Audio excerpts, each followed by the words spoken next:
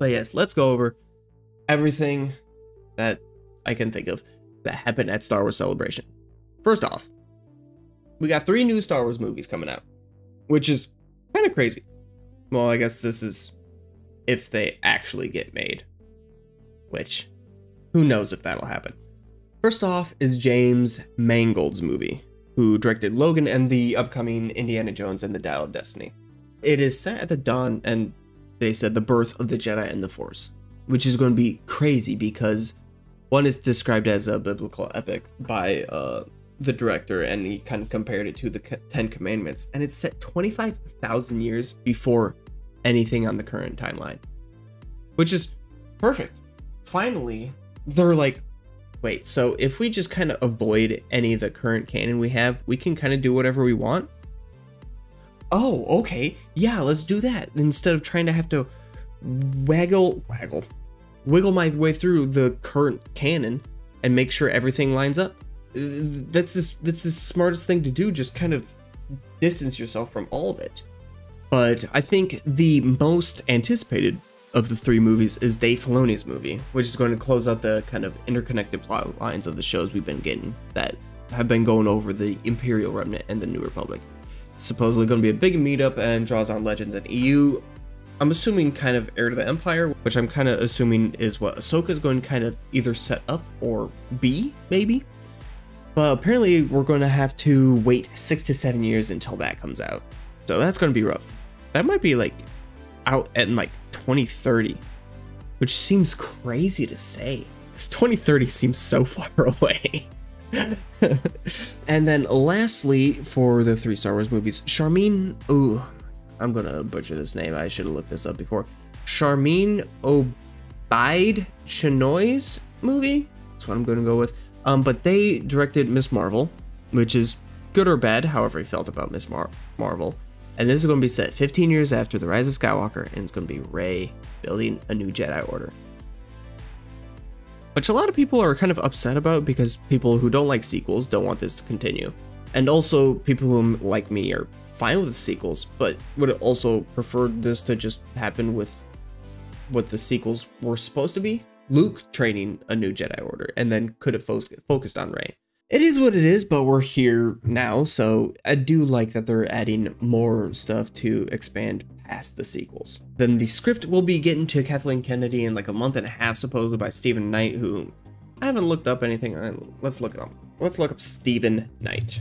Let's see what he wrote on. Peaky Blinders, okay. And then a bunch of other stuff that I don't know about. Cool. Sure. I mean, as long as it's a good script, I don't care who writes it.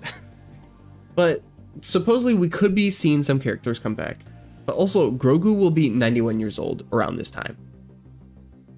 So, I think it's very likely that we could see Grogu in this movie, or at least reference Grogu because Yoda started training younglings when he was 100 years old. So he was doing that for 800 years. So by the time Grogu is 91, I think he should be able to do that. Because at the beginning of Mandalorian, I think they said that he was 50 years old. So, but also maybe his development is stunted by getting captured or whatever happened to Grogu. I don't, I don't know. I don't think anyone really knows. Um, but after the period of him getting uh, taken away by what's his face, Kelleran Beq. There we go. That's what I was thinking of. Um, but apparently they've been working on it for quite a while, and I think when they said that, they even meant a couple of years. So that's crazy. But yeah, three new Star Wars movies. There have been many movies announced before that have not seen the light of day. So I'm hoping all three of these happen. And I think these are the three most likely to happen, honestly, of everything that we've gotten. Admittedly, maybe of these three, James Mangold's probably less so because it's not really related to anything that we currently have.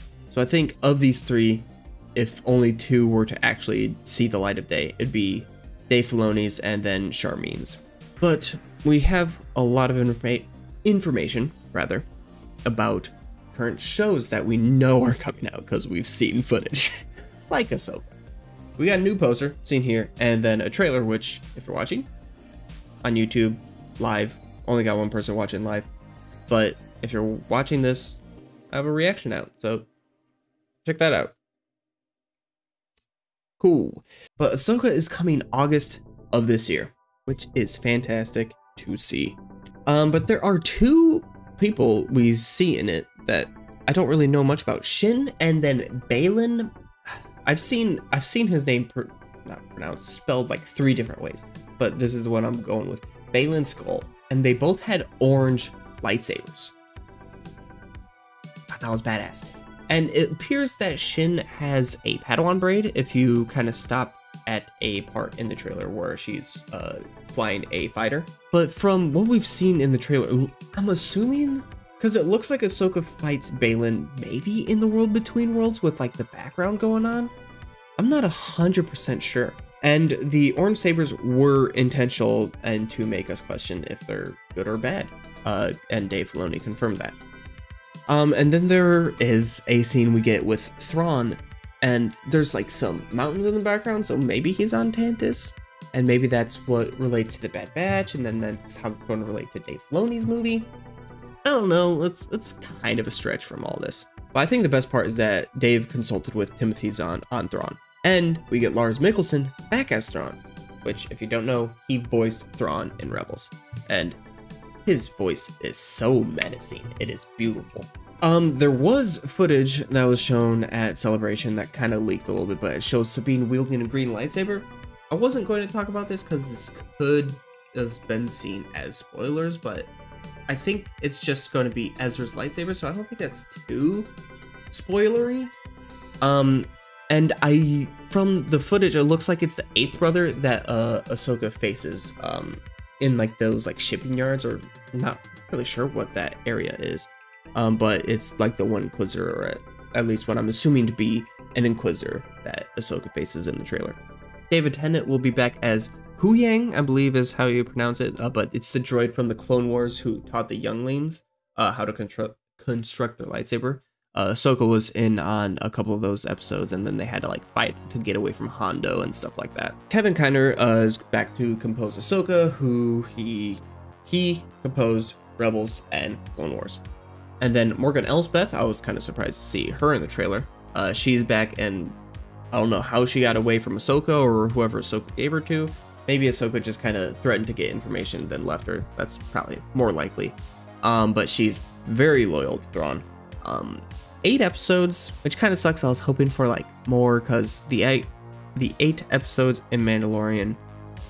I don't know how I feel, but maybe it's just their use of the eight episodes. Like episode six, episode six, this past episode that came out, would have been fine if it wasn't the third to last episode of the season. But then at the same time, Bad Batch, which is 16, feels like a little too much, but also gives them room to kind of do those like more just fun, random episodes like Mandalorian chapter, or not chapter, episode 6 could have been. But supposedly, same length of Mandalorian episodes, if not longer. I would like them to be a little bit longer, or at least consistently longer. Whereas like Mandalorian can go from like 33 minutes to 50 minutes. That's a big time jump from episode to episode. There is, sorry for that, cat hair on my mic. But that's basically everything that we learned from Ahsoka, I think. So we're going to move on to the Acolyte, which we got a new logo for which I think I like the old logo better, but this logo also looks pretty fantastic. I don't know what's going on with this O. There's something going on here, and I wonder if it has any relation to the show or if they just think it looks cool. but supposedly this is coming uh 2024, which sucks, but it is what it is. Uh, but we'll see many Jedi wielding lightsabers, including a Neimoidian, and we're going to be seeing a yellow saber, which is cool because the only time we've seen that is very end of Rise of Skywalker when Rey lights up her lightsaber. And I will say, like, Rise of Skywalker is maybe my least favorite Star Wars movie, but Rey Saber just looks so good at the end. It just looks so cool. They will finish filming in May, and it's supposedly inspired by Kurosawa films like Hidden Fortress, much like the original Star Wars films. Set in the High Republic, fantastic.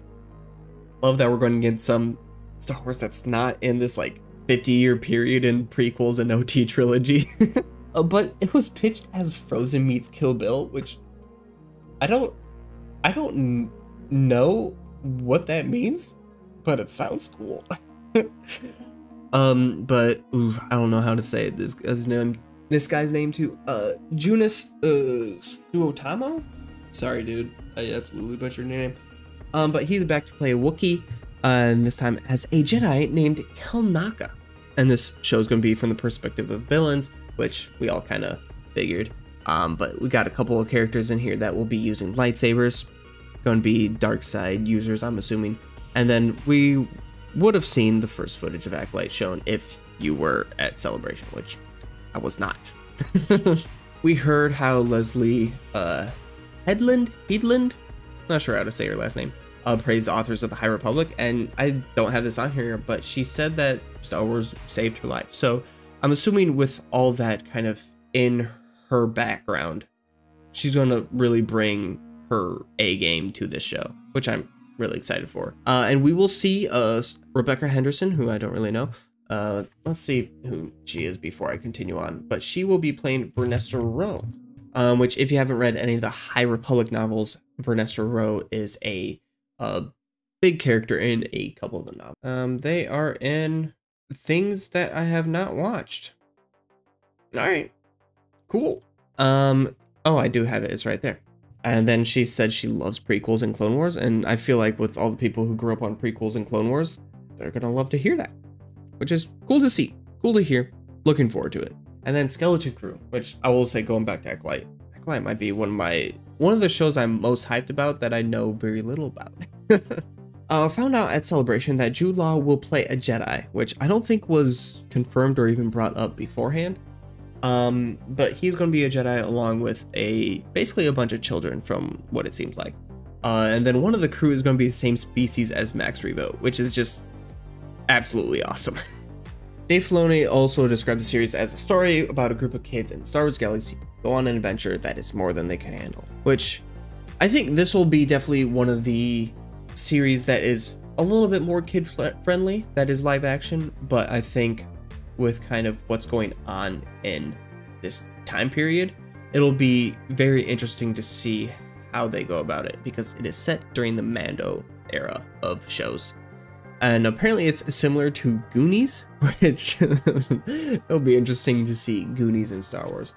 And then here's a list of some of the directors that will be, whoops. No, go back. There we go. That will be in um, the show directing some episodes. And then the first trailer was shown at uh, Celebration, which of course we don't get because we don't get anything because we're not there. and then it's currently in post-production and will come out 2024. Sick. Moving on. Andor Season 2. The rest of this stuff isn't a whole bunch of information like we've had for these previous shows that I've been talking about. Uh, it's halfway through filming and it's going to wrap up in August and will come out fall of next year. And I think most importantly, Andy Serkis will be back as Loy, which I am so happy about because that episode was so good. One way out, baby. One way out. Oh my god, that was that was probably one of the best episodes of the season, if not the best episode, honestly. And a teaser trailer was shown at Celebration that we, of course, didn't get. Bad Batch Season 3, we got some information about with that it's going to be the last season of Bad Batch, and it's coming next year Fennec Shand will be back, Commander Wolffe will make an appearance, and Celebration saw a trailer. You know, you know how great it would be if they just released all these trailers that was specific to Celebration to like Disney Plus, so then everyone can watch them, and then they also get traffic to their website. Please, please. Vision Season 2, which I recorded my reaction to the trailer earlier, will feature 9 shorts coming out May 4th. And I just watched it and oof, it looks so good. It looks so good. Tales of the Jedi, we're getting a season two, and basically all I have is that Dave just saw people have fun making Bad Batch, so he wanted to make Tales of the Jedi. I don't know who they're going to bring up in Tales of the Jedi, but Tales of the Jedi was fantastic, and I want to see more of it. Um, now we're kind of gone, kind of going through some final things that we heard of, just kind of some miscellaneous stuff. We kind of got an official timeline of Star Wars that, for the first time, features the Old Republic. We have Dawn of the Jedi, which, if we get the movie about, will feature that era. Old Republic, High Republic, which has all been about the books, and then Acolyte, and then the Young Jedi Adventures show, and then Fall Jedi, Reign of the Empire, Age of Rebellion, New Republic, Rise of First Order, New Jedi Order. I think that's a solid timeline. I, I like these eras.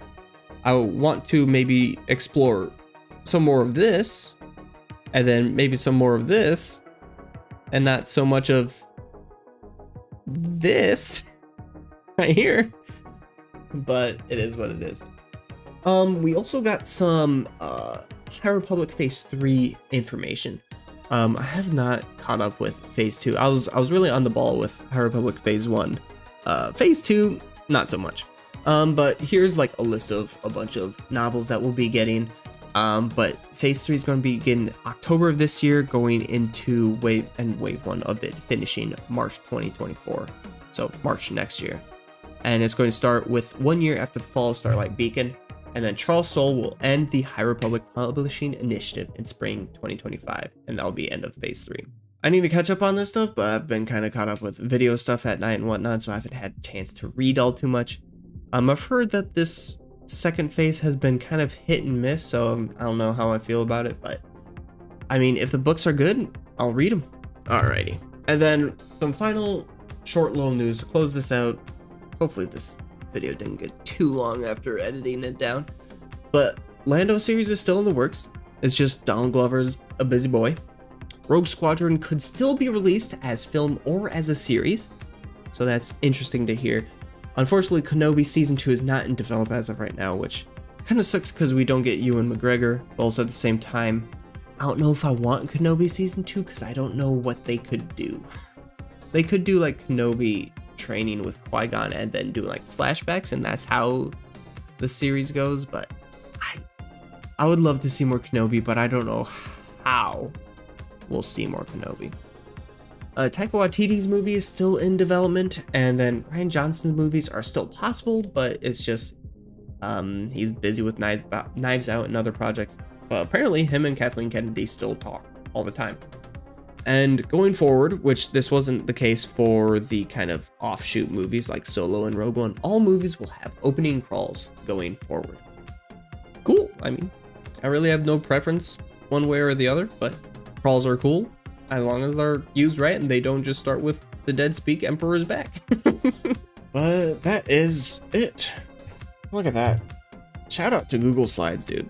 I think that's all I have. Um, I'm glad I was finally able to figure out my live stream to work. So now hopefully I can stream a bit more going forward. But um, if you're watching this on YouTube, cut down. Thank you for watching. If you enjoyed the video, please like, comment what you thought of the video, and consider subscribing. And I'll hopefully going to get this video out quickly because otherwise the kind of celebration stuff will kind of die down quickly and then I probably won't get any views. but either way, thank you for watching. Take care, and may the force be with you.